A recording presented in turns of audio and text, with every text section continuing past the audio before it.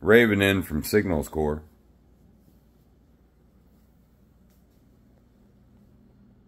He also served with the Phoenicians. He'll talk slowly for you. Signals. Signals 5 at least. But we want to talk philosophy. To reconnoiter is to physically occupy a space for the purpose of intelligence gathering. To reconnaissance is to gather information for the purpose of decision making. But what is information? Information is that which could be gathered. What is human information?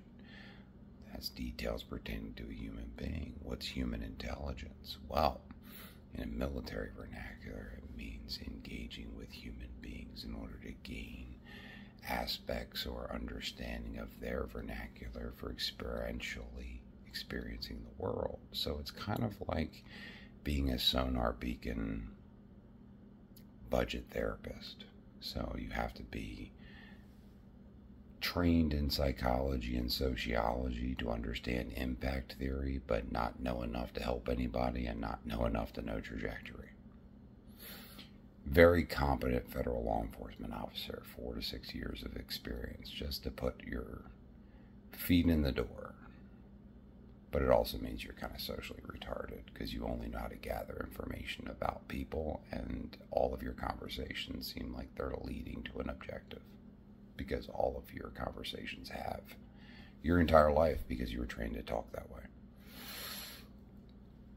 But realistically, what we want to talk about is intelligence. Now, intelligence is not something necessarily tabula rasa, theoretically, that we are born with.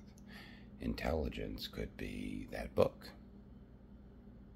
Pretend I'm pointing to any book anywhere in any room. Intelligence of that book means, oh, do you know what's in it?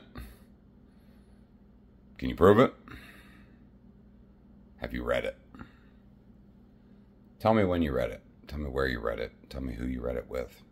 Tell me to whence, to whom, to where, to which, to which, to watch, to which, to watch, to which, to what?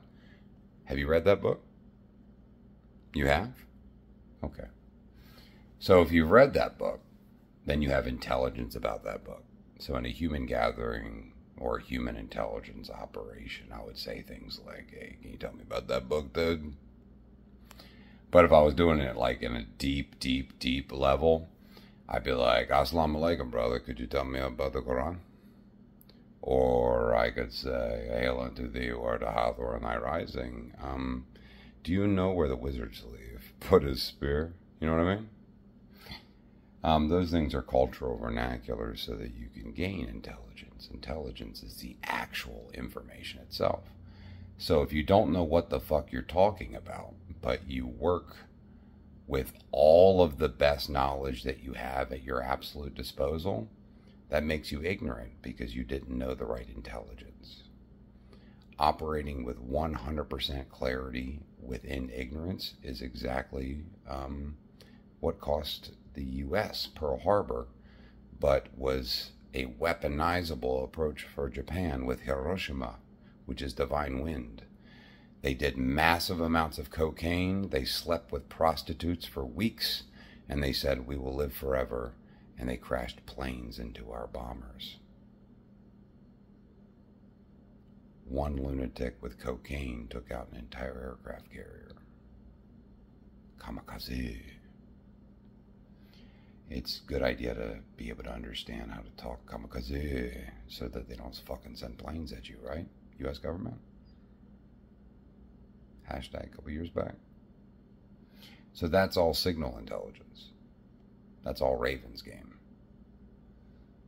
So when you're like Raven, who art also Michael, when Michael tries to step in and say, hey, let me help you out, bro, you're like, dude, you're spotting me, but you're spotting me from the front, you're holding my dick.